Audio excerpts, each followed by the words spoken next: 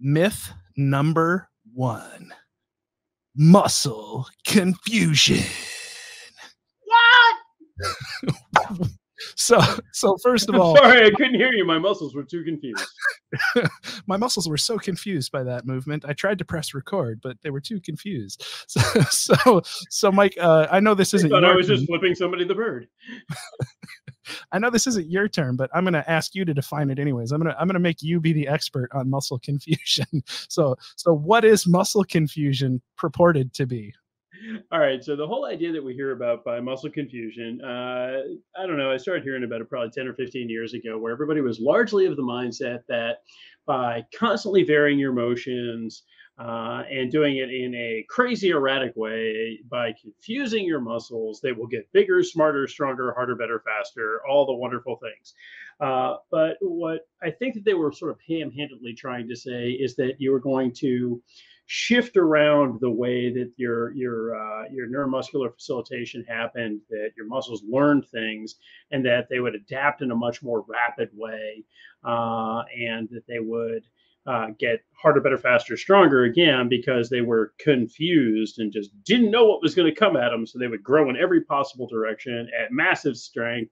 And uh, it, it's sort of like the old GNC commercials where they would tell you that you would basically everything on the shelf was like legal steroids, right? So it was that kind of BS that you used to see. I, I So- did get my first bottle of androstenedione at a GNC. I'm just gonna say, which was basically a legal steroid back when you know I was in high school and Mark McGwire was my hero. I was actually in ATC at the time that that was coming out, and uh, the one guy that was on it basically just got really odd hair growth patterns. Is that correlated to why I no longer have hair? I don't know. We'll we'll just we'll just we'll just. We're not talking about your palms, buddy. We're not talking about your palms. Yeah, I I think I think this really gained traction. What with uh, P90X was really the was Oh, really yeah. The infomercial, right, that took the world by storm, and they purported muscle confusion was the key to the gains that their program provided, which which was really just like you said, a, a marketing term or a ham-handed way of talking about, uh, you know, variance of load and variance of training methodology and variance of intensity. And so I will give them credit. One thing I will give them credit for, one thing that that program actually did really well was appropriately undulate intensity throughout the week. They they increased training frequency to, you know, five six days a week because it was a you know a 90 day progressive overload program that was actually fairly well structured um, and it had some undulations built into it within the weeks. It had some periodization built into it over the course of 90 days. It had a ton of a ton of different exercises in it but the, the idea that your muscles were confused by this uh, by not knowing what was coming next would prevent plateaus that was kind of the message that they were telling you is like oh plateaus happen because your muscles know what's coming so if you want to keep your gains going in perpetuity you really need just to keep your muscles confused they can never know what's coming right the idea Yeah, I'll, I'll tell you that unpredictability, man. My left delt is still in therapy for it. yeah if it's you have got a- trust issues now, man. It's just got trust issues. yeah yeah that insecure attachment style uh this is probably not the probably not the myth for you right if you have an insecure attachment style uh we're we're we're not going to recommend muscle confusion but it's really it's it's honestly um it's it's complete it's complete marketing it is total it is total marketing variance is good variability is good especially if you have a personality type that's like uh you know a squirrel on a pixie stick uh you know as i like to say about us adhd people you know it can be good if it if it increases your adherence to training.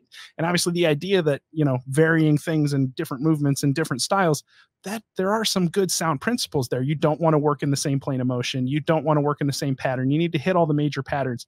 But also you want to do it in a structured way that is predictable. And we all know that skill acquisition actually happens by repetition. So not the the actual opposite of what they're saying. If you actually want to get strong um, like when i was my strongest guess what i did? I benched i deadlifted and i squatted because that's what my sport required and i was trying to get as maximally strong as possible. So if you talk to a power lifter they do those movements in yes in different intensities and maybe some different variations but we're not trying to confuse our muscles. We were trying to actually make the, the patterns very very predictable so that your brain could learn how do i move this super heavy weight in a predictable way, right? So uh, the idea of muscle confusion does not align well with top level performance or adaptation or predictability. Um, are there really any benefits to that level of variability that they're talking about? So I would tend to say, you know, and, and and this is one of the things that we actually see a lot in CrossFit, right? That really espouses that constantly varied kind of a model. Uh, but uh, one of the things that you sort of see is that they've been often accused within CrossFit and also within certain similar training, you know, cross training kind of modalities, uh, that uh, that constantly varied sort of seems to be confused, if you will, with uh, uh, with random. Uh, and, and, it's very much not that at all. It, it's very, very programmed, but it is that sort of undulating periodicity. Uh, but the, the thing that sort of gets lost when you start talking about things like muscle confusion is that the muscles are going to move better. They are going to move more consistently. Your skill is going to get improved uh, through efficiency, and that efficiency comes through repetition, uh, through uh, bringing that that training pattern into uh, a habitual movement. Uh, and, and, it doesn't necessarily mean that every single day you have to do the exact same thing. Quite quite the contrary, right? Uh, you, you do need to be hitting things in multi-point. You do need to be hitting things in varying loads. You do need to be hitting things in varying levels of volume. but at the end of the day people sort of use that marketing term of muscle confusion to to mean just throw random crap into your workout and hope to God that you get swole. And, and it just doesn't happen, right? I mean, it's like you look around at people who are working the floor in the gym and they're just kind of wandering around aimlessly because they read whatever they saw from uh, Instabud influencers that week and they're doing it. You know, oh my God, arm day. Uh, but, um, you know, your butt out like that while you're doing tricep extensions. yes, exactly. Why do your pants seem to give you a wedgie on purpose and you paid 85 bucks for them? Uh, but uh, I'm totally going to wear a pair of Lulus in my next show. Uh, but well, they can't see you from the waist down. For all we know, you're wearing Gymsharks right now. How do you know I'm not? Exactly. Rar. Uh, I imagine what I want the world to be. you know what, man? I'm going to date myself. It's, it's remember the old juicy pants? It's that all over oh, again. Yeah. Yeah. Truth in advertising. I was all about that. Yeah. I really pissed off upset of people when I had a set of them made up that said furry. Uh,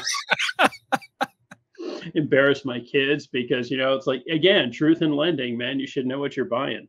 Yeah, for sure, for sure. Yeah, so I think I think to wrap this this myth up, we would say that there is validity to um, variability, and that does not mean randomness, right? So muscle confusion is not a thing. We don't want random things thrown at our muscles. We want variability, but in a in a way that is structured and predictable so that we know it's getting the adaptations that we want and that we're appropriately balancing load across opposing muscle groups and in the planes of motion necessary to ensure you're gaining where you want to be gaining, that you're preventing injuries and staying on track with your goals. And that requires um, what I call malice of forethought in your programming, not something that you just throw in a random workout generator and call it muscle confusion because you're a lazy trainer.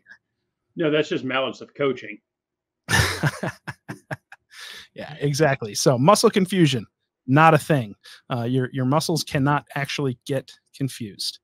All right. They can, however, be traumatized and stop talking to you. And if you listen very quietly, you can still hear them weeping on, on the soft night. Oh yeah,